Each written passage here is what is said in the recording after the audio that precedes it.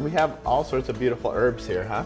And So basically, the idea is to just to make um, a really delicate salad to go with the strong short ribs, Uh-huh. um, and just give us a little bit of balance. To start with, I'm going to take a really beautiful bread here. Uh, this is a levain.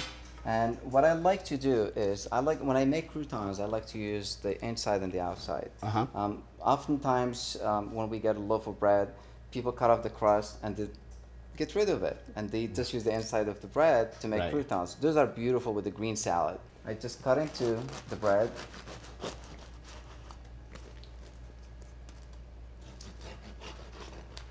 And then I just go down, and I'm more interested in the crust than I am in the inside.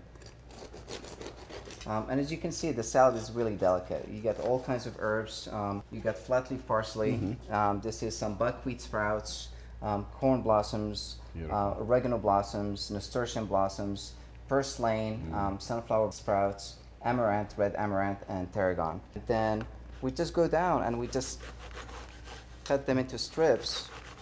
And these will go into a pan with a little bit of olive oil, and we're just gonna toss them up. So this will take about a minute or a minute and a half, and they're gonna start to brown. And the idea is to just have like the outside is a little bit crusty and the inside is still a little bit um, soft. So we're just gonna put them back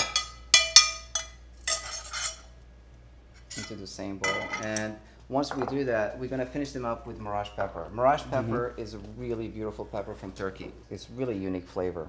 Um, so we're gonna put a little pinch of marash pepper. Where do you find the Marash pepper? Uh, you can buy it online through Zingerman. Okay. Uh, you can buy it at Rainbow store in San Francisco, and you just look it up on online, and you'll you'll find stores where you can It's- buy it it. smells wonderful. Um, we need a little bit of chopped rosemary, and a little bit of salt, and we're just gonna toss it together. And these will be the croutons for the salad. So just dump everything in there. okay. And this salad is really good with the short rib that we just made. So just a little bit of olive oil, and a squeeze of squeeze of lemon juice,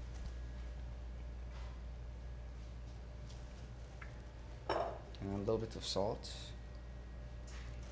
There we go. We just toss that together.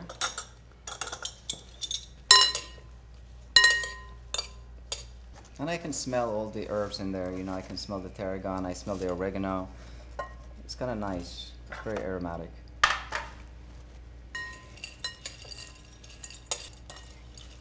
There you go. And because we have some really delicate herbs and blossoms here, we're gonna add those at the end. Just gonna add them on top. That's beautiful. Give it a try. Trying to be ladylike here, but it's not gonna happen. Mmm. Mmm. That's really, really lovely. I love herb salads. Yeah, it's really oh. cool, and especially with the short rib, mm-hmm. it has such mm. bold flavor that it just brings it back to work. That's Yeah, great. Parsley. Cool.